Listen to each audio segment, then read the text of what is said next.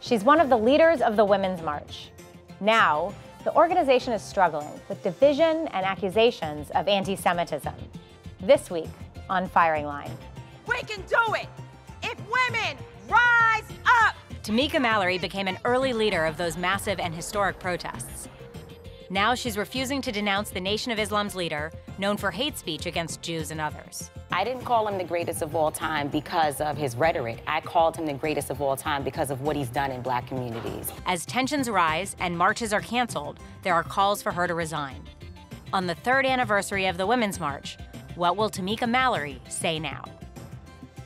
Firing Line with Margaret Hoover is made possible by the Margaret and Daniel Loeb Foundation the Robertson Foundation, the David Tepper Charitable Foundation, Inc., Marlene Ricketts, the Asness Family Foundation, Spencer B. Haber. Corporate funding is provided by Stephens, Inc., and by Pfizer, Inc. Tamika Mallory, welcome to Firing Line. It's good to be here. Thank you so much, Margaret. I wanted to have you here because you are now, you're at this pivotal moment. Uh, you are one of the organizers of what was debatably the largest march on Washington in American history, one of the largest movements in our country. And it was a women's march. It was. It was in 2017, the day after President Trump was inaugurated. Right. And you went on to be named by Time 100 as one of the most influential people of 2017. Now, two years past it, what is your most optimistic vision for the Women's March? You know, there's so much work to be done, and I think that, you know, you have these high moments. So the beginning was a really high moment, even though it was painful to bring all these people together, folks who don't know each other, people who are, you know, coming from so many different backgrounds. What was painful about it? And just, you, you don't know who you're working with, right? With the Women's March, you had people coming together who didn't even know anything about movement. Well, and it happened organizing. so quickly, and right? It, and it was so quick, just eight weeks of you know really intense planning and something that big again with people who were not necessarily comfortable, uh, but they're standing here. We all have a common goal, and we've got to figure out a way to work together. So that's the other part of it is that you know, for from our perspective, mm. we didn't get an opportunity to learn in private. It's sort of like a celebrity kid, mm. you know, growing up, and, and everything you do is just on the main screen. You felt like you were under a microscope. Oh, we certainly have been since day one. You know, our growing pains have been public. Well, I think, I mean, what you're getting at delicately is that there has been some controversy surrounding the oh, Women's Certainly. March in recent days. We'll get to that. Not just recent days, since the very beginning. You know, we face controversy. I'll get to that, but I want to just sort of looking back, what do you think it was that galvanized so many women mm-hmm. across the country from so many different backgrounds and so many different places geographically yeah. to to move and to mobilize in such a short period of time? You know, I think people were sleeping uh, in a way. I think people really did not understand what America was doing and how bad people were suffering in this country.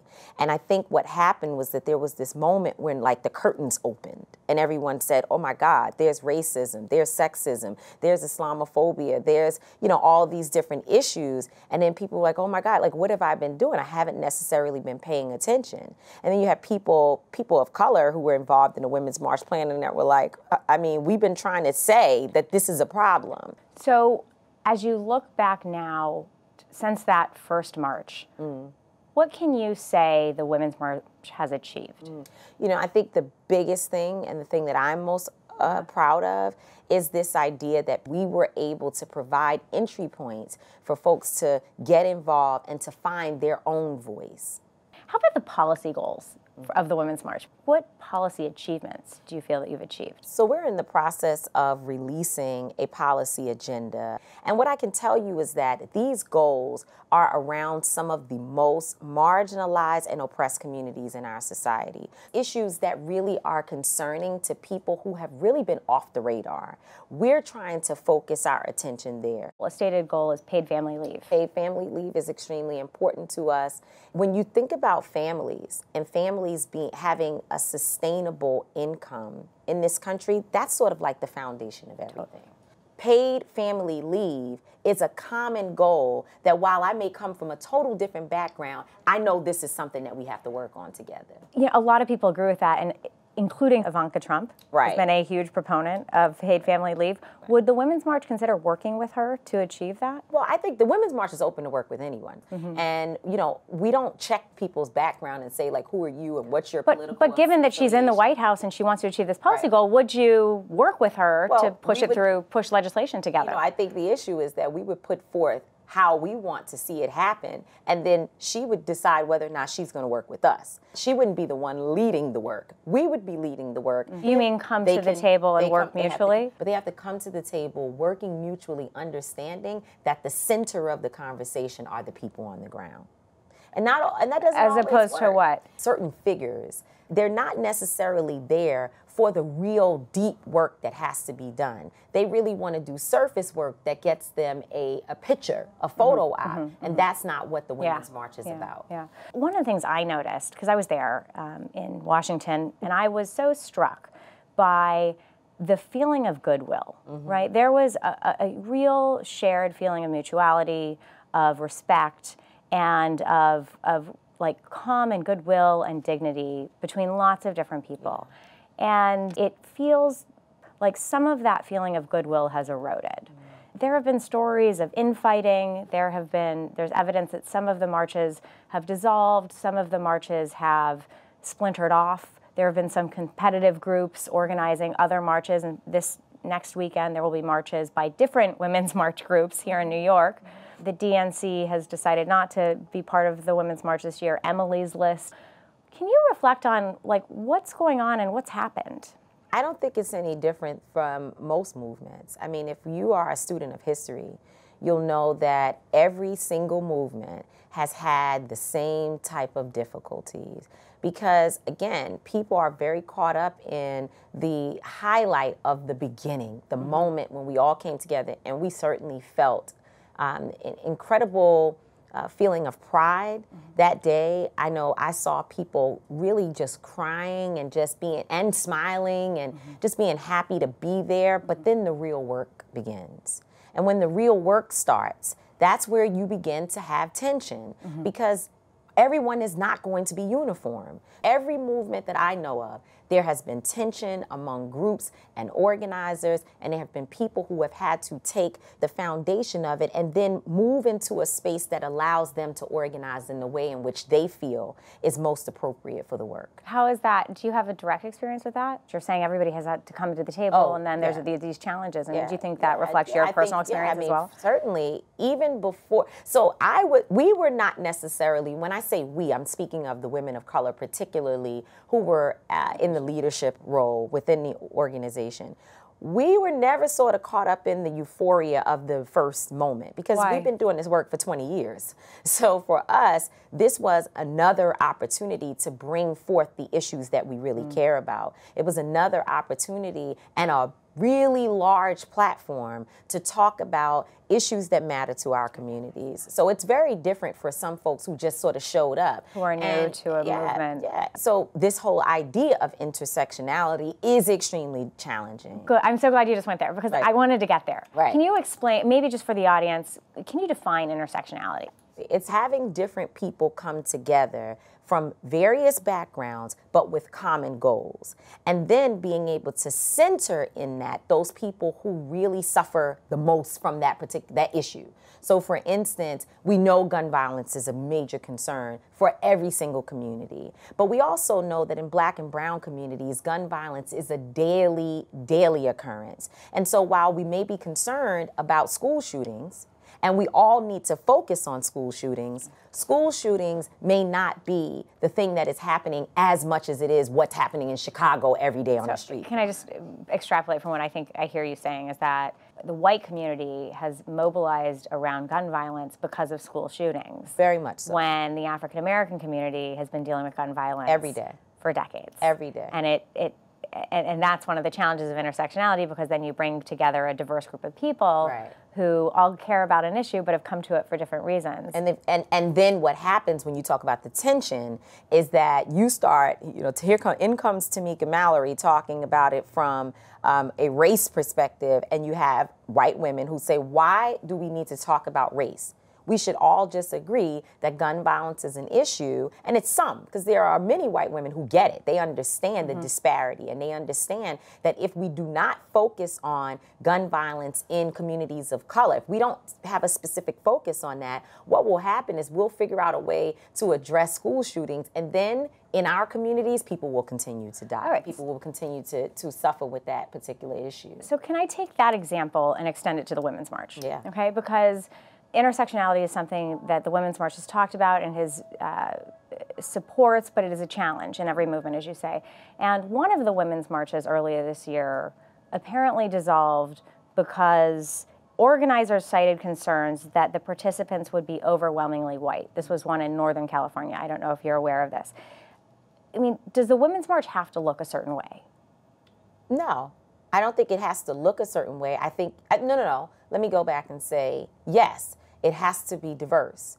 Yes, it does. It does need to be diverse. Um, I think that every single woman needs to be represented, but I, that doesn't mean that I don't feel um, a particular group of women of any particular background can't get together and say we want to march or we want to work on an issue. So one of the things about this program that I love is that it is a legacy program that aired for 33 years that William F. Buckley Jr. hosted, right. and he had a leading feminist on 25 years ago, Betty Friedan, a renowned feminist who uh, many are familiar with, and she spoke about the expansion of the women's movement to include new voices and the challenges that that confronted. And I'd like us to take a look. You couldn't have a movement taking in all- Uh, so many women and have only one voice. The diversity of voices, my voice is still there, and the major thrust of the women's movement for equality, as I helped organize it, is still the basis of it. There are a lot of diverse new voices, and they argue and they are opposed, and I'm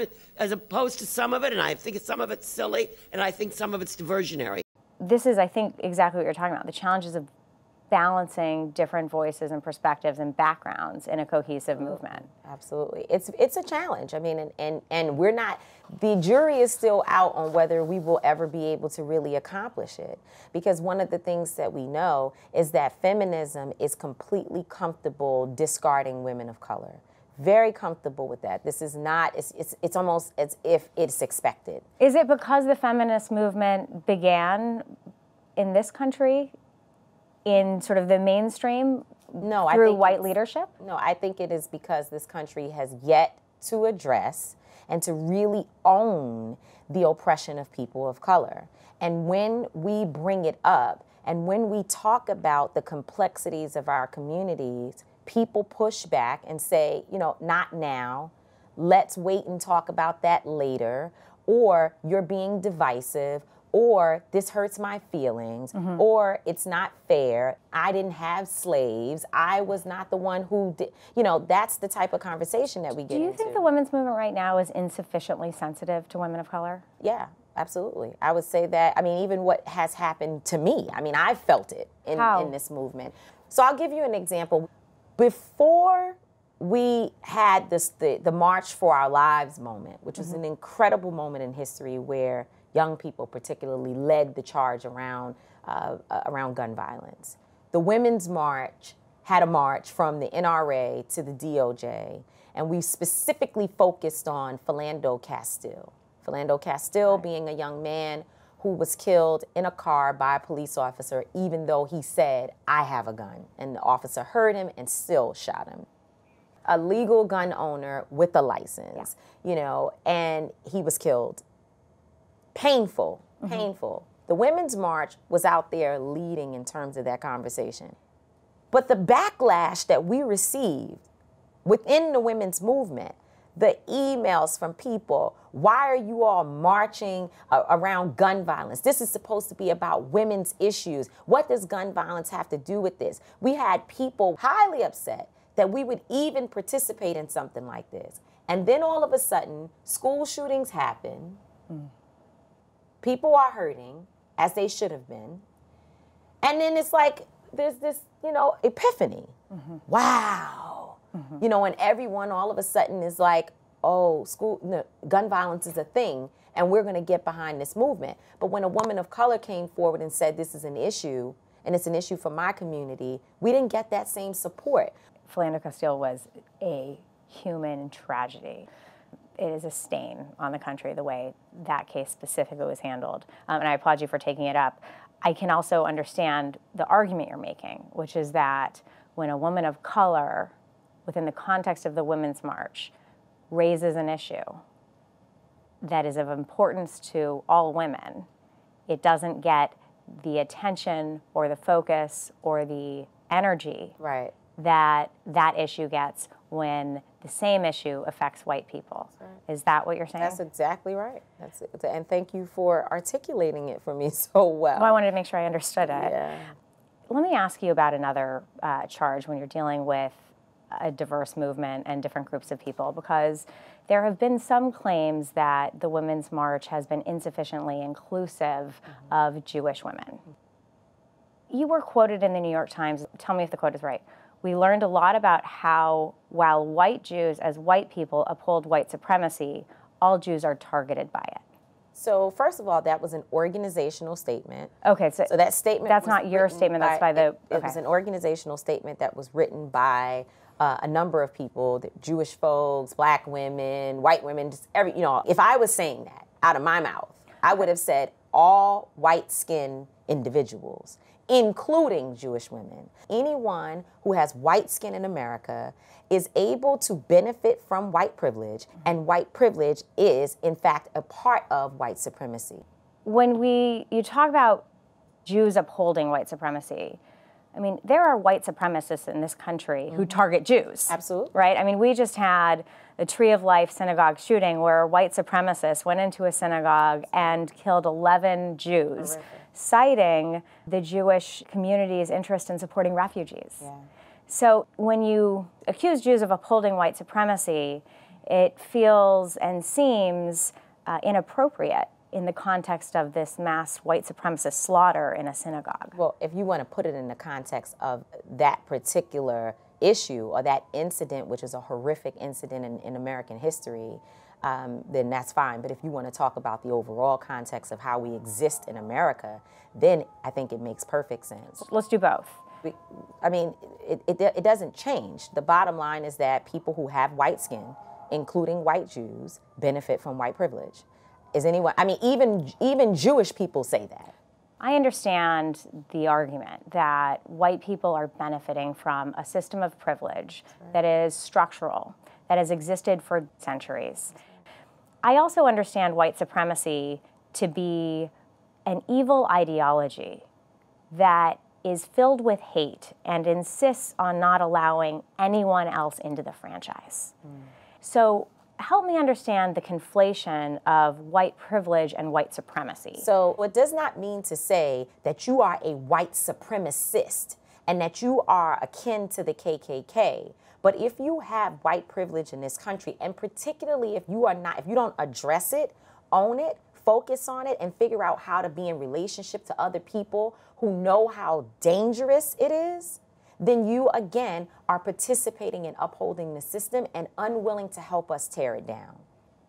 there were and have been accusations of anti Semitism that have been reported um, and, reported that you have said to co leaders of the women's movement in the beginning who were Jewish, you know, your people have all the wealth. And was there any credence to any of those accusations? So the accusations against me are 100% false. It didn't happen. If I did not believe that anti Semitism was a real issue, if I did not believe that Jewish women should be a part of it, I wouldn't say it. I stand very, very clear in my principles and who I am. So, the reason why you have seen me say things about the Jewish community, the reason why you hear me talking about anti Semitism is because I truly believe that those issues are issues that we need to address. Do you think that you have evolved your thinking, especially with respect to the discrimination against Jewish people? Absolutely, certainly. When we first heard in Charlottesville, the Jews will not replace us, I did not, I didn't pick up on it. I thought they were saying, You will not replace us. But when someone said to me, Hey, they're saying the Jews will not replace us, I was horrified. And I think at that in that moment, what I realized is that we need to make sure that we understand all of the communities that are hurt and feeling in this moment this incredible uh, you know sense of despair and i think that's why there are definite legitimate concerns about uh, Jewish women feeling included. So I don't want to take away from that. But there's also a sense of divisiveness. I, I want to change the subject a little bit. Um, I noticed on, as I was doing my research on you, I saw Facebook Live about a trip that you took to Israel. Mm-hmm. Sure did. And uh, it was uh, clearly a really uh, high impact visit for you. I want to share a clip from that Facebook Live.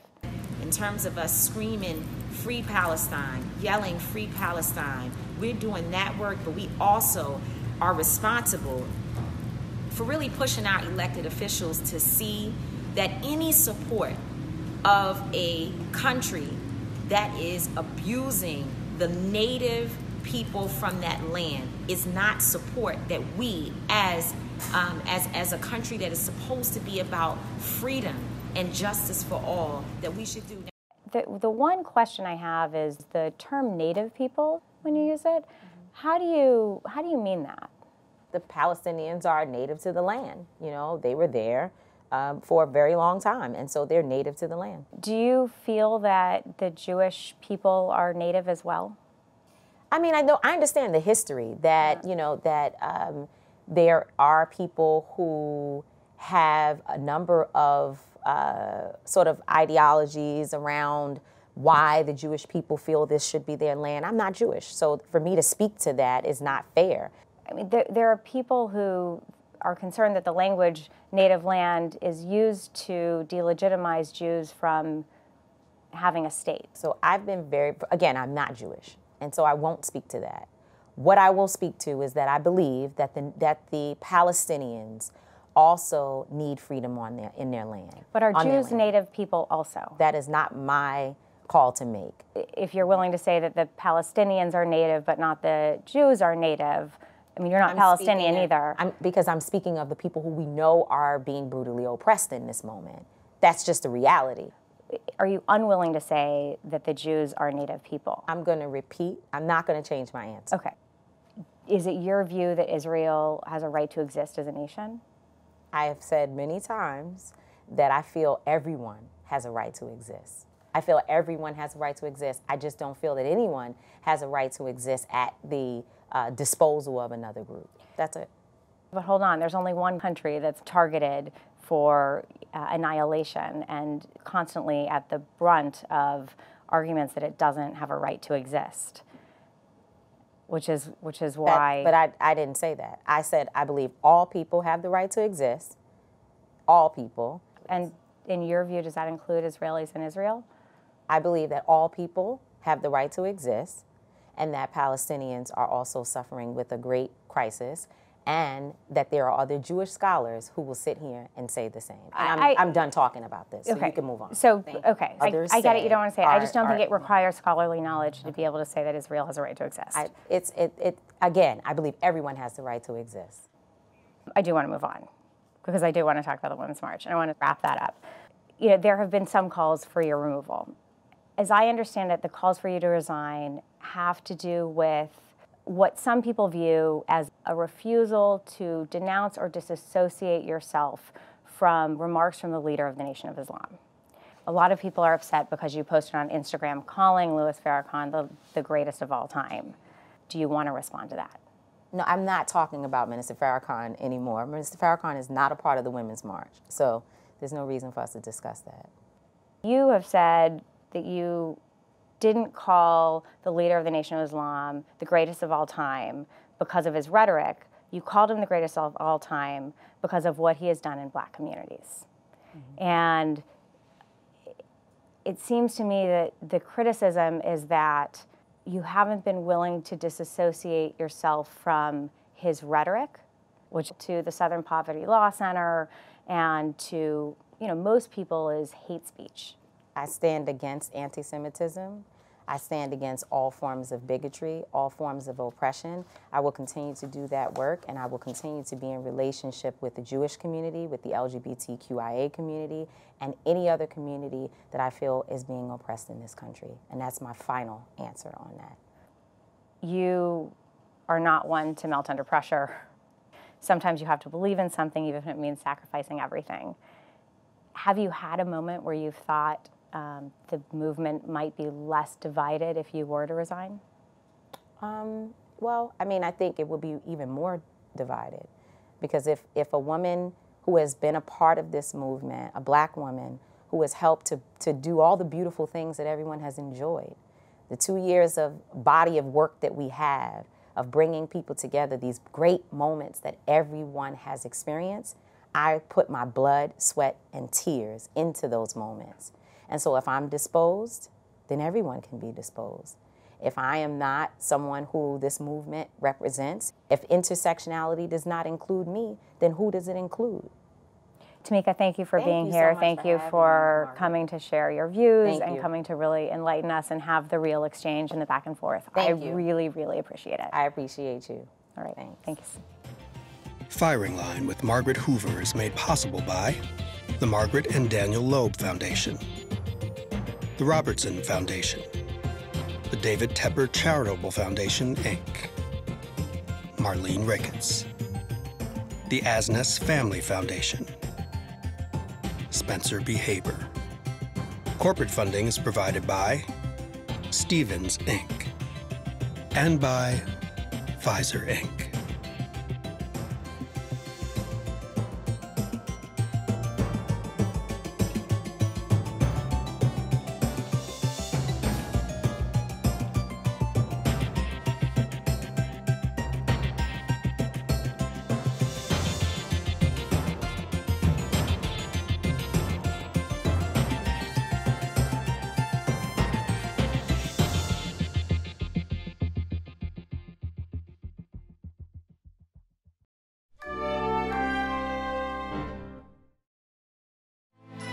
You're watching PBS.